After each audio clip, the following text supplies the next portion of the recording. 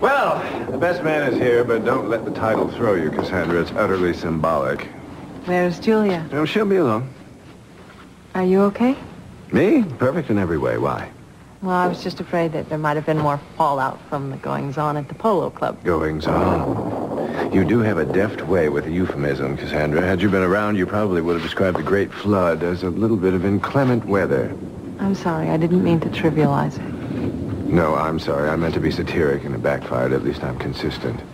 Satire is a sort of glass wherein beholders generally do discover everybody's face by themselves. You've lost me. Well, then I'm two for two today, and it's still early. Well, the blushing bride. Hmm. Nervous? Why does everybody ask me that? She asked, ducking the question. I'm petrified. Me too. I'm so worried I'll drop the ring when I pass it to Robert. You're really going to pull this off, aren't you? With a little help from my friends. Oh, that reminds me, I have something for you from Samantha.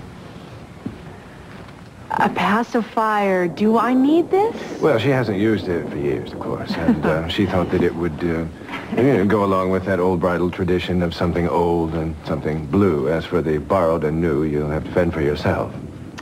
Well, tell Sammy that I said thank you, and thank you, Mason, for being a friend to me during this.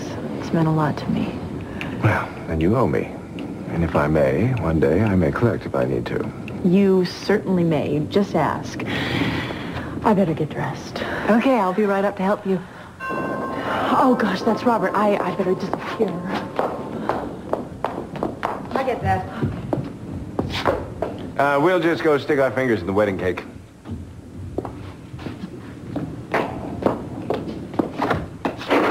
Hi. I'm so glad you're here. Thank you. Come in. Thank you. Oh, this place looks wonderful. It's even nicer than I imagined. Oh, thank you very much. This place lends itself to occasions like this. I've been so busy trying to organize it, though, I just all of a sudden realized I'm going to be losing a daughter. Not gaining a son?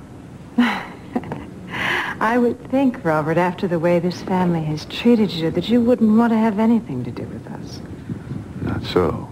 If I'm ever blessed to have a daughter, I hope that I'll be just as protective as you have been. I think it's to your credit. Thank you.